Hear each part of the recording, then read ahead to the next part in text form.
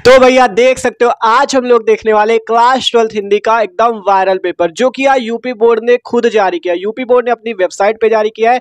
Class twelfth Hindi का देख सकते हो, पूरा मॉडल पेपर देखेंगे और अगर आप इस मॉडल पेपर को तैयार कर लेते हो तो आपके हिंदी में सौ में सौ पक्के हो जाएँगे, ठीक है?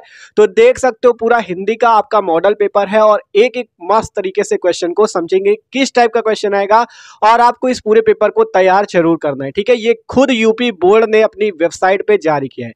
अभी आपको बता देंगे, आपको इसे डाउनलोड भी कैसे करना है, मस्त तरीके से आपको इसे तैयार कर लेना है, ठीक है?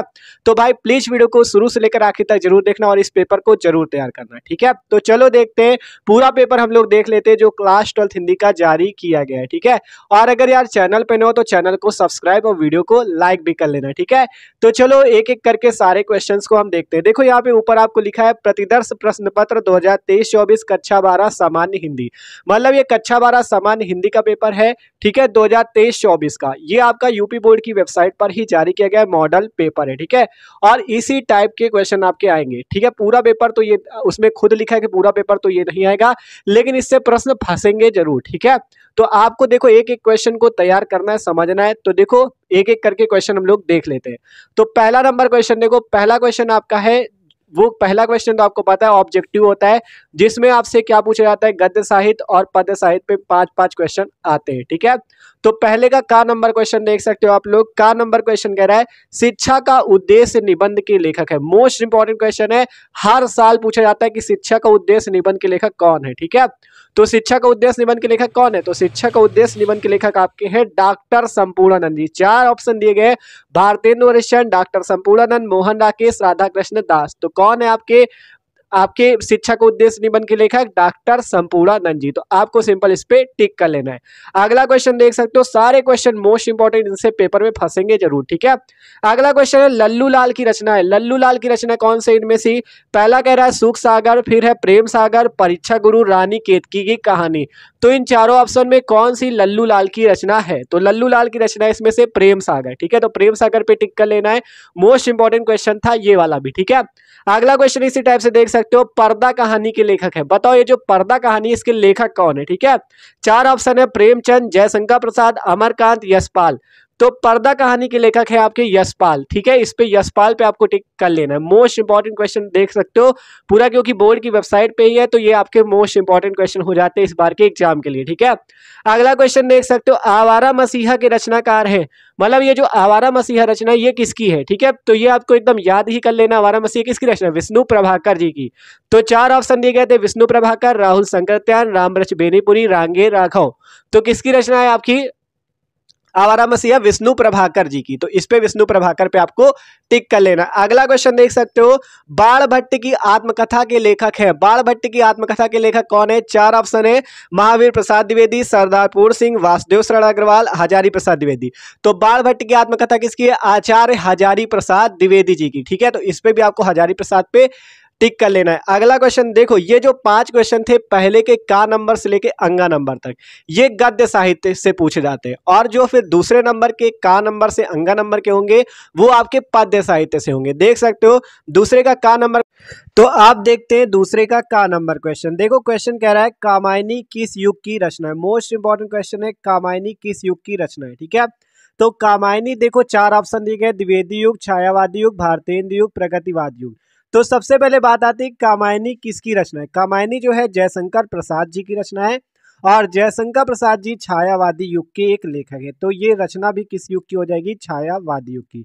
तो इसमें दूसरा नंबर ऑप्शन से हो जाएगा छायावादी युग, क्योंकि कामायनी जो है जयशंकर प्रसाद जी का महाकाव्य है और जयशंकर प्रसाद जी किस युग के लेखक है? छायावादी युग के, ठीक है? छायावादी युग के जो प्रमुख स्तंभ आते हैं, आपको पता होगा, महादेव वर्मा सुमित्रा नंदन पंथ और जयशंकर प्रसाद हो गए इस टाइप से, ठीक है?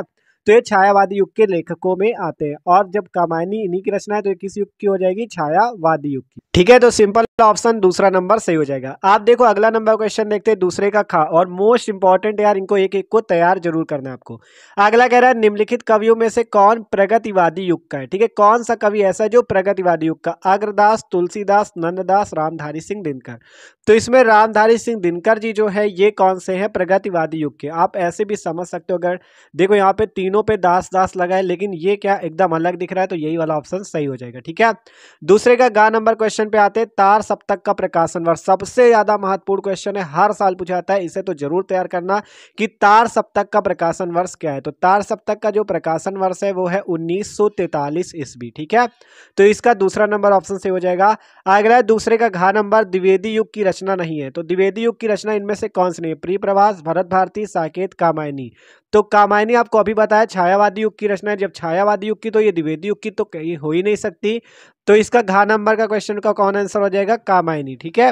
क्योंकि आपको ऊपर ही बताया गया कामायनी किस युग की रचना है? छायावादी युग की। तो ये द्विवेदी युग की तो नहीं है, ठीक है? अगला क्वेश्चन देखते हैं आप, देखो। अगला क्वेश्चन है अष्ट छाप के कवियों का संबंध है भक्तिकाल की, ठीक है? यहाँ पे देखो, कह रहा है कि अष्ट छाप के जो कवि, उनका संबंध भक्तिकाल की किस शाखा से? आपको इसके अगले पेज में चार ऑप्शन दिए गए देखो, उनको देखते हैं। ठीक है, देख सकते हो चार ऑप्शन आपको दिए गए यहाँ पे। उसी क्वेश्चन के, राम भक्ति शाखा से, ज्ञानाश्रय शाखा से, प्रेमाश्रय शाखा से या कृष्ण भक्ति शाखा के। मतलब जो आपके अष्ट छाप के कवि हैं, उनका संबंध किस भक्ति शाखा से है? तो वो है कृष्ण भक्ति शाखा से। मोस्ट इंपॉर्टेंट क्वेश्चन ये वाला भी, ठीक है? तो इसका चौथा नंबर ऑप्शन से हो जाएगा, कृष्ण भक्ति शाखा। तो इसको आप सही कर लेना, टिक कर लेना, कृष्ण भक्ति शाखा। ठीक है तो देख सकते हो, ये आपके क्वेश्चन नंबर वन और क्वेश्चन नंबर टू मिला के दस क्वेश्चन पूछे जाते हैं, गद्य साहित्य और पद साहित्य से, और इसमें से एक एक नंबर से मिला के दस नंबर आपको मिलते हैं। मोस्ट इंपॉर्टेंट क्वेश्चन थे, क्योंकि ये यूपी बोर्ड ने मॉडल पेपर जारी किया है तो ये क्वेश्चन भी मोस्ट इंपॉर्टेंट हो जाते हैं। तो आपको एक एक क्वेश्चन को रट लेना एकदम, ठीक है? अगला क्वेश्चन की तरफ़ चलते हैं। अगला क्वेश्चन देख सकते हो यहाँ पे, तीसरा नंबर क्वेश्चन है हमारा। ठीक है, देखो तीसरा नंबर क्वेश्चन क्या कह रहा है? दिए गए गद्यांश पर आधार निम्नलिखित प्रश्नों का उत्तर दीजिए, ठीक है? आपको दिए गए गद्यांश, ये आपको दो गद्यांश दिए गए और बीच में लगा अथवा। चाहे ऊपर वाला गद्यांश करो या नीचे वाला गद्यांश करो, आपको दस नंबर मिलेंगे, ठीक है? दस नंबर आपको एक गद्यांश सॉल्व करने का मिलेगा, दोनों में से जो आता हो वो कर सकते हो। तो पहला नंबर पढ़ो, धरती माता की कोख में जो अमूल निधियाँ भरी हैं, जिनके कारण वह वसुंधरा कहलाती है उससे कौन परिचित ना होना चाहेगा। लाखों करोड़ों वर्षों से अनेक प्रकार की धातुओं को पृथ्वी को पीस पीस कर अगणित प्रकार की मिट्टियों से पृथ्वी की देह को सजाया है, ठीक है? तो ये आपको एक गद्यांश दिया गया, आपको यहाँ पे पाँच प्रश्न पूछे गए हैं। पहला उपरयुक्त गद्यांश का संदर्भ सहित अनुवाद कीजिए। तो आपको संदर्भ लिखने के लिए क्या करना होगा, इसके पाठ का नाम पता होना चाहिए। तो पाठ का नाम कैसे पता चलेगा? देखो, यहाँ से आपसे कहा गया, धरती माता, यहाँ आपको पृथ्वी दिख रहा है, ठीक है? तो धरती माता और पृथ्वी बार बार आ रहा है तो ये किस चैप्टर का आपका राष्ट्र का स्वरूप, ठीक है? क्योंकि राष्ट्र में धरती होगी तो इसलिए किस चैप्टर का है? राष्ट्र के स्वरूप चैप्टर का, ठीक है? तो आपको पढ़ने से ही पता चल जाएगा, ठीक है? तो ये राष्ट्र के स्वरूप चैप्टर का है, और किसने लिखा राष्ट्र का स्वरूप? वासुदेव शरण अग्रवाल जी। ठीक है? तो इसका आप गद्यांश का संदर्भ भी लिख सकते हो। क्या लिख सकते हो? कि प्रस्तुत गद्यांश हमारी पाठ्य पुस्तक हिंदी के किस चैप्टर से लिया गया है? आपका राष्ट्र का स्वरूप चैप्टर या राष्ट्र का स्वरूप पाठ से लिया गया है। और इसके लेखक वासुदेव शरण अग्रवाल जी हैं। तो ये इसका पहला का आंसर हो जाएगा।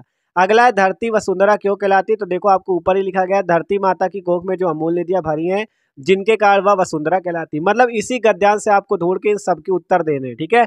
तो किस कारण से कहलाती है? इसका, आपका आंसर क्या है? पहली लाइन पे लिखा है, धरती माता की कोख में जो अमूल निधियाँ भरी हैं, जिनके कारण वह वसुंधरा कहलाती है, ठीक है? अगला क्वेश्चन रेखांकित अंशों की व्याख्या कीजिए। मतलब जितने में आपको ये रेखा दिख रहा है, ये देखो यहाँ पे, ये जितने में रेखा दिख रही है, रेखा खींची हुई नीचे तो इसी जितनी भी रेखांकित अंश है, इसकी आपको व्याख्या करनी कहाँ तक? धरती माता की कोख में जो अमूल नदियाँ भरी हैं, और जिनके कारण वह वसुंधरा कहलाते उससे कौन परिचित ना होना चाहिए तो इतने का आपको क्या करना है? व्याख्या लिखनी है। ठीक है तो व्याख्या भी लिख लोगे आसानी से। फिर है पृथ्वी को, पृथ्वी की देह को किसने सजाया है? तो पृथ्वी की देह को किसने सजाया यहाँ पे लिखा देखो, आपसे कहा गया, लाखों करोड़ों वर्षों से अनेक प्रकार की धातुओं को पृथ्वी को पीस पीस कर अगणित प्रकार की मिट्टियों से पृथ्वी के देह को सजाया है। तो यही आप यहाँ पे लिख दोगे, ठीक है? फिर अब भावी आर्थिक अभ्युदय हेतु हमें क्या करना चाहिए? तो आप इसी टाइप से जितने भी पाँचों क्वेश्चन है, आप इन पाँचों क्वेश्चन के आंसर आपको इसी गद्यांश पे दिए गए, आप मस्त तरीके से ढूंढ के लिख सकते हो, ठीक है? दस नंबर आपको इससे मिलेंगे। अगर ये वाला आता है तो ठीक है, ये नहीं आता तो नीचे आपको देखो ये दिया गया अशोक के फूल, उसी मस्ती से हंस रहा है। पुराने चित्र से इसे देखने वाला उदास होता है, ठीक है? ये गद्यांश आपको दिया गया है। और इसका तो संदर्भ लिखना एकदम आसान, देख लो, अशोक का फूल पहले दिया गया है। तो किस चैप्टर का? अशोक के फूल का, और इसके लेखक कौन है? इसके लेखक कौन है? डॉक्टर हजारी प्रसाद द्विवेदी जी, ठीक है? तो इस टाइप से आप इसके भी लिख सकते हो प्रश्न। ठीक है, देख सकते हो, यहाँ पे नीचे भी पाँच प्रश्न दिए गए, इससे भी आपको दस नंबर मिलेंगे। मतलब चाहे ऊपर वाला कर लो या नीचे वाला कर लो, जो आपको एक आता हो, वो कर लो, दस नंबर आपको इससे मिल जाएँगे, ठीक है? तो मोस्ट इंपॉर्टेंट गद्यांश इन्हें ज़रूर तैयार कर लेना, ठीक है? अगला क्वेश्चन देखते हैं क्वेश्चन नंबर फोर अगला नंबर क्वेश्चन देख सकते हो यहाँ पे प्रश्न संख्या चार, ये भी दस नंबर का, इसमें आपको पद्यांश दिए गए, ऊपर वाले पे गद्यांश था नीचे वाले पे पद्यांश है। तो इस पे आपको क्या करना है सिंपल इस पद्यांश को पढ़ना है और आपको इन पाँचों प्रश्नों के उत्तर देने यहाँ पे आपको पाँच प्रश्न दिए गए देखो। ठीक है, चार प्रश्न ये, एक प्रश्न इसके अगले पेज पे तो उसको भी अभी दिखा देंगे।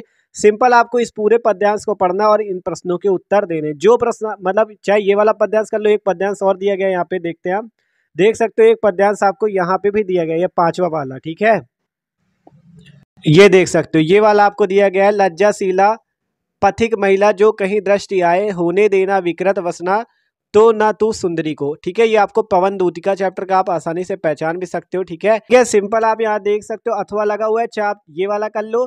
या इसके पहले वाले पेज पे जो वाला था, वो कर सकते हो, ठीक है? चाहे लज्जाशीला पथिक महिला वाले की ये पाँच क्वेश्चन कर लो, दस नंबर मिलेंगे, या उस पेज पे जो था, ये वाला, दुर्बलता का ही चिन्ह विशेष शपथ है, ठीक है? दुर्बलता का ही चिन्ह विशेष शपथ है, आप ये वाला भी कर सकते हो। जो इनमें से आता वो आप कर लो, दस नंबर आपको मिल जाएँगे। तो मोस्ट इंपॉर्टेंट इन दोनों पद्यांश को याद कर, ज़रूर कर लेना, ठीक है? अगला क्वेश्चन देखते हैं। ठीक है, अभी ये भी बता देंगे आपको इसे डाउनलोड कैसे करना, पूरी पीडीएफ डाउनलोड करने को बता देंगे, बस देखते रहो, ठीक है? अगला क्वेश्चन है क्वेश्चन नंबर फाइव कह रहा है, निम्नलिखित में से किसी एक लेखक का साहित्य परिचय लिखते हुए उनकी रचनाओं का उल्लेख कीजिए पाँच नंबर का मतलब ये तीन लेखकों में से किसी एक लेखक का आप क्या लिखिए, जीवन परिचय लिखिए। आचार्य हजारी प्रसाद द्विवेदी एपीजे अब्दुल कलाम, वासुदेव शरण अग्रवाल। तो इन तीनों में से किसी एक का आपको क्या लिखना है, जीवन परिचय लिखना है, पाँच नंबर का है। इसी टाइप से खा नंबर पे आपको कवियों का लिखना है, ऊपर वाले में लेखक का लिखना है, नीचे वाले में कवि का। कवि कौन कौन से? मैथिली सड़गुप्त सुमित्रा नंदन पर रामधारी सिंह दिनकर। इन तीनों में से किसी एक का लिखो, आपको इसमें से भी पाँच नंबर मिलेंगे, ठीक है तो इस टाइप से आप लिख सकते हो। ठीक है? आपको यहाँ पे लेखकों का लिखना है, यहाँ पे कवियों का लिखना है। एक का लिखना है, इससे भी एक का, इससे भी इससे भी पाँच नंबर मिलेंगे, का वाले से और इससे भी पाँच नंबर मिलेंगे।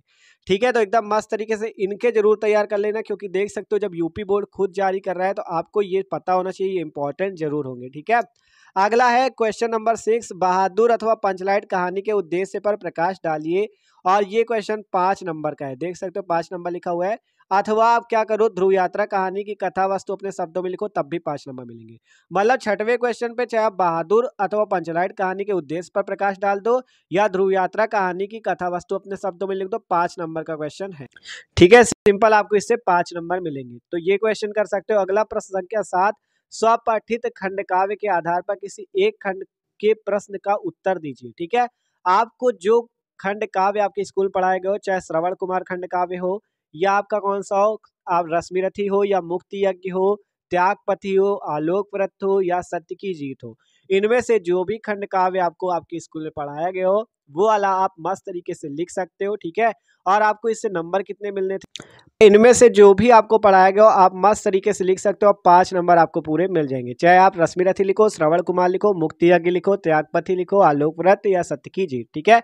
पाँच नंबर का था। अगला देखो, आठवां का खंड खा शुरू हो चुका है। अब खंड का का काम खत्म, खा शुरू।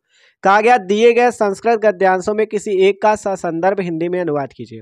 आपको यहाँ पे दो गद्यांश दिए गए हैं, वो भी संस्कृत के, ठीक है? आपको जो आता हो उसका संदर्भ सहित अनुवाद करना है। पहला महामना मालवी मालवीय चैप्टर का देख सकते हो, महामना विद्वान, वक्ता, धार्मिको, नेता, पटु, पत्रकार पत्रकार अश्चासीत ठीक है तो सही से पढ़ लेना, संस्कृत है थोड़ा, ठीक है?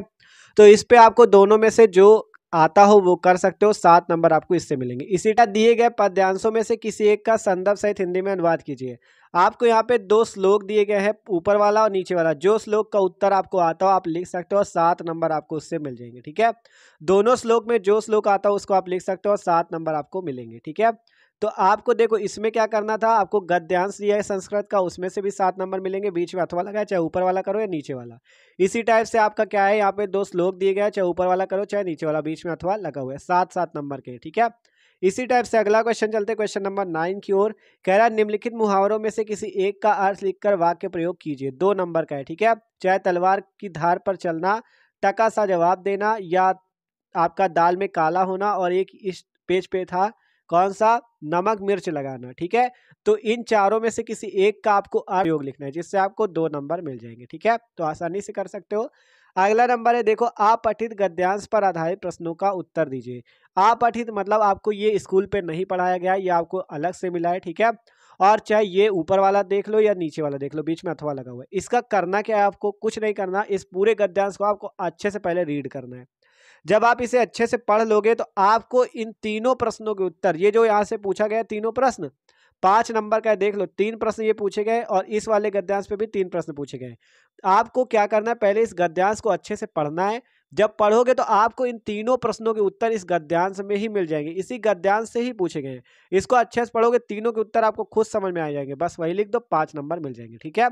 तो सिंपल आपको इसको पढ़ो, चाहे ये वाला ऊपर वाला कर लो या नीचे वाला भी कर सकते हो, ठीक है? दोनों में से एक करना है, जो आता हो वो कर लो। सिंपल कुछ नहीं करना, पूरा पढ़ लेना आसानी से। जब पढ़ लोगे तो आपको इन तीनों के उत्तर इसी गद्यांश से मिलेंगे, ठीक है? तो कर लोगे आसानी से। अगला नंबर है प्रश्न संख्या ग्यारह। कह रहा निम्नलिखित शब्द युग्मों का सही अर्थ चयन करके लिखिए, ठीक है? आपको जैसे पहला दिए गया वसन और व्यसन तो इन दोनों के अलग अलग अर्थ है। आपको बताना है इन चारों में कौन सा ऑप्शन सही ए बी सी डी में कौन सा ऑप्शन सही है, बताना है, ठीक है? इसी टाइप से दूसरा नंबर देख सकते हो अम्बुज और अम्बुद नीचे देखो अम्बुज और अम्बुद इसमें से कौन सा ऑप्शन सही ऑप्शन आपको इस पेज पे दिए गए बादल और समुद्र, देख सकते हो। ये आपको चार ऑप्शन दिए गए यहाँ पे। ठीक है, चार ऑप्शन दिए गए ऊपर ए बी सी डी जो ऑप्शन सही हो आप आसानी से कर सकते हो, ठीक है? इसी टाइप से खा नंबर देख लो, निम्नलिखित शब्दों में से किसी एक शब्द के दो अर्थ लिखिए जैसे अंबर, घट, विधि, नाग। इनमें से किसी एक शब्द के आपको क्या करने दो अर्थों को लिखना है तो इससे आपको दो नंबर मिल जाएँगे, ठीक है? गा नंबर क्वेश्चन देखो, निम्नलिखित वाक्यांशों के लिए एक शब्द का चयन करके लिखिए। जैसे जो आँखों के सामने ना हो, या आप लिख, ठीक है, जो आँखों के सामने ना हो उसे क्या कहेंगे? प्रत्यक्ष कहेंगे। सॉरी, जो आँखें के, जो आँखों के सामने हो, जो आँखों के सामने होगा उसे क्या कहेंगे? प्रत्यक्ष मतलब सामने है वो, ठीक है? तो इसका प्रत्यक्ष वाला सही हो जाएगा। फिर है, जानने की इच्छा रखने वाला तो जानने की इच्छा रखने वाले क्या कहते हैं? जिज्ञासु कहते हैं। तो इसका सी नंबर ऑप्शन सही हो जाएगा। घा नंबर पे कह रहा है, निम्नलिखित में से किन्हीं दो वाक्यों को शुद्ध करके लिखिए। आपको इन चार वाक्यों में से किसी दो वाक्यों को क्या करना सही करके लिखना है। ये वाक्य आपके गलत लिखे हुए हैं, इनको आपको शुद्ध करके लिखना है, जिस मतलब सही करके लिखना है, जिससे आपको दो नंबर मिलेंगे। अगला क्वेश्चन देखते हैं यहाँ पे।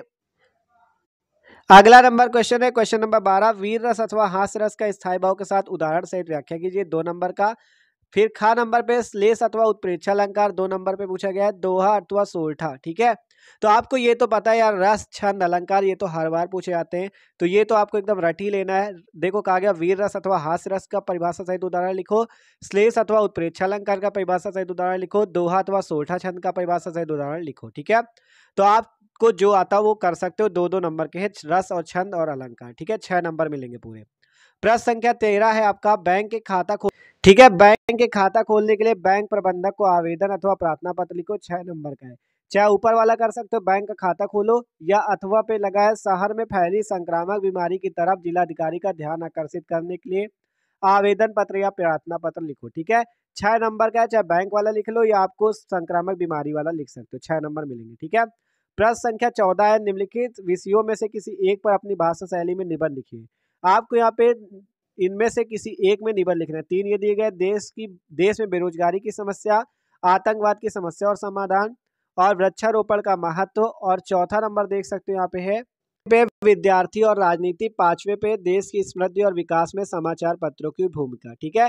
तो इन पाँचों में से आप कोई भी कर सकते हो। आपको कितने नंबर ठीक है, नौ नंबर का ये पूछा जाता है। तो आसानी से आप कर सकते हो भैया, ठीक है? तो ये था आपका पूरा सौ नंबर आपके पूरे पक्के हो चुके हैं, ठीक है? ये हिंदी क्लास ट्वेल्थ का पेपर था, जो कि यूपी बोर्ड ने अपनी वेबसाइट पे जारी किया है, ठीक है? और एक एक क्वेश्चन को यार तैयार ज़रूर करना, क्योंकि यूपी बोर्ड ने जारी किया तो मोस्ट इंपॉर्टेंट है ये क्वेश्चन, ठीक है? और आपको बता दें, इस मॉडल पेपर को आप डाउनलोड कर कैसे कर सकते हो, ठीक है? तो उससे पहले यार अगर चैनल पे न हो तो चैनल को सब्सक्राइब और वीडियो को लाइक भी कर लेना।